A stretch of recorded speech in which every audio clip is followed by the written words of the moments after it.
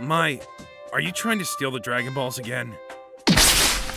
Trunks, please put something on! You're so indecent!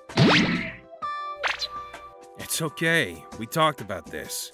There's nothing indecent about a bare chest. Trunks! Your body feels so hard! Here, you can touch my stomach too. See?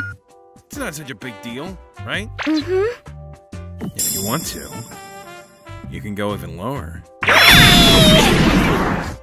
Mai! Don't forget we have a date tomorrow!